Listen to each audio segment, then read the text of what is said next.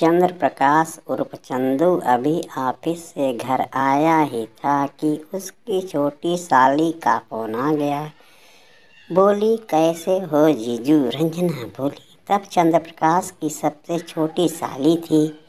मैं तो बस ठीक हूँ, अपनी कहो। चंदू बोला, मैं भी ठीक हूँ जीजा, पर आपके मदद की ज़रूरत है।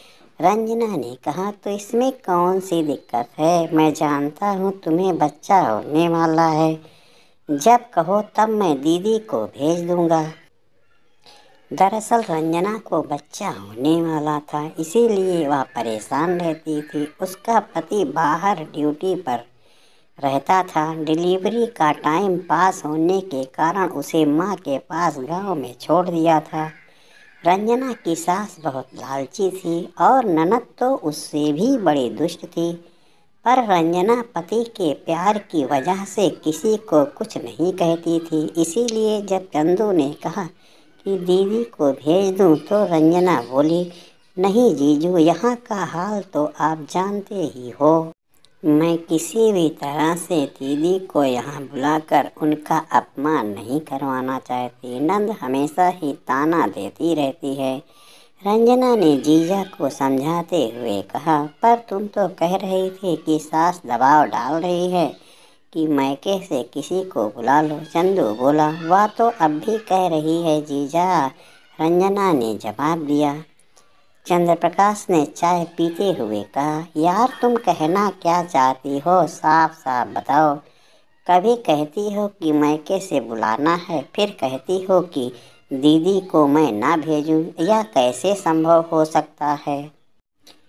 तब रंजना ने कहा, जीजा, मेरे यहाँ ससुराल में देवर और ससुर दोनों का नेचर ठीक नहीं है। ननद और सास को तो आप जानते ही हो। मैं चाहती हूँ कि डिलीवरी के समय मेरी दीदी बनकर आप यहाँ आ जाओ। एक महीने के लिए प्लीज़ मना मत करना जीजा।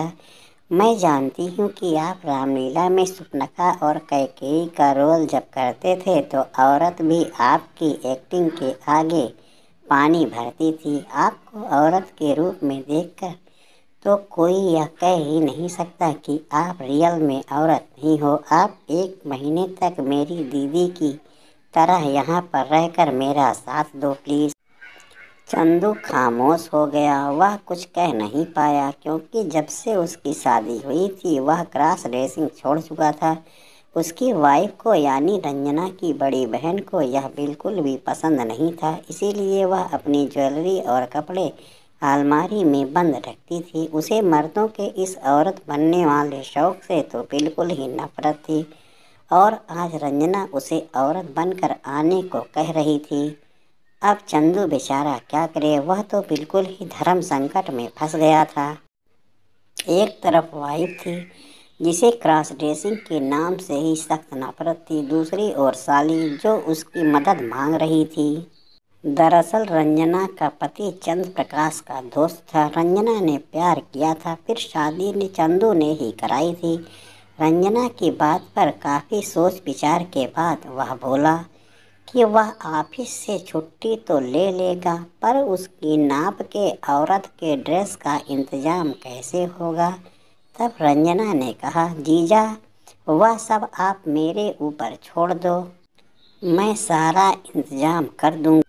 चंदू अभी रंजना से बात कर ही रहा था कि चंदू की वाइफ आकर बोली, चाय जल्दी से ख़त्म करो, घंटे भर से पी रहे हो। और हाँ मुझे नहीं जाना रंजना के ससुराल में। ओके जानू, मत जाना चंदू बोला और फिर बाहर आ गया और रंजना से कहा, मैं तो छुट्टी के लिए कल ही अप्लाई कर देता हूँ। बाकी का इंतज़ाम जो भी है, तुम करो रंजना खुश हो गई। फिर क्या था? अगले ही दिन चंद्र प्रकाश ने ऑफ़िस में छुट्टी के लिए अप्लाई कर दिया और उसी दिन छुट्टी पास भी हो गई। उसे एक महीने की छुट्टी मिल गई थी। तीन दिन के बाद चंद्र प्रकाश को ऑफ़िस में एक पार्सल मिला, जिसे साली ने भेजा। चंद्र प्रकाश ने ऑफ़िस का कमरा बंद किया और पार्सल खोला। उसमें चंदू की नाप का blouse, sari, bra, panty, petticoat makeup का सामान, ज्वेलरी लिपस्टिक बिंदी, सिंदूर, पायल, बिछिया, सारी चीज़ें थीं जो औरत इस्तेमाल करती है। उसमें गुब्बारे का एक पैकेट भी था जिसमें पानी भरकर चंद्रप्रकाश को बूब्स बनाने थे। चंद्रप्रकाश ने पैकेट से ब्लाउज को बाहर निकाला, फिर पहनकर चेक किया, वह एकदम फिट था। शाम के समय जब चंद्र प्रकाश घर गया तो वाइफ ने कहा, तुम छुट्टी लेकर कहाँ जा रहे हो? हाँ वह ऑफ़िस की ओर से एक स्पेशल काम है, विदेश जा रहा हूँ। वाह, बहुत अच्छी बात है। तब तो मेरे लिए कुछ ले आना वाइफ ने खुश होकर कहा। अगले दिन चंद्रप्रकाश जब ऑफ़िस में बैठा था, तभी रंजना का फ़ोन आया। वह बोली जीजा लेडीज़ पर्स खोल कर देखा, क्या अभी नहीं? चंदू बोला, जब उसने पर्स खोला तो उसमें कुछ दवा थी, यह क्या है? बताओ तो रंजना। तब रंजना बोली जीजा ये दवा खा लो, इससे आपकी आवाज़ पतली हो जाएगी, शरीर कोमल हो जाएगा। यहाँ आप दीदी बनकर रहोगे तो मेरे पास ही सोना पड़ेगा। यह दवा आपके पुरुषांग का तनाव समाप्त कर उसे छोटा कर देगी। आप यहाँ मेरी दीदी बनकर रहना, दवा नियमित लेते रहना, ओके, चंदू दवा रोज लेने लगा। उसका स्वभाव और शरीर औरत की तरह होने लगा। वह कोमल हो गया, शरीर मुलायम हो गया, बाल कम होने लगे। एक दिन वाइफ ने टोक दिया, तुम ये मेरी ब्रा को क्यों छूते रहते हो? पहनोगे क्या? चंद्र प्रकाश को लगा, चोरी पकड़ ली गई है। वह दिखावा करने के लिए लैपटॉप लेकर बैठ गया और कुछ सर्च करने लगा। इधर रंजना का फ़ोन आया। बोली जीजा चार दिन बाद की तारीख मिली है।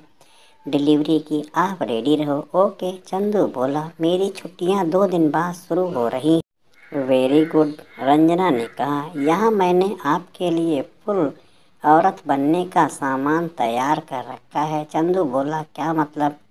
जी ढेर सारे औरत के कपड़े, मेकअप का सामान और जो भी एक औरत को चाहिए सब है यहाँ।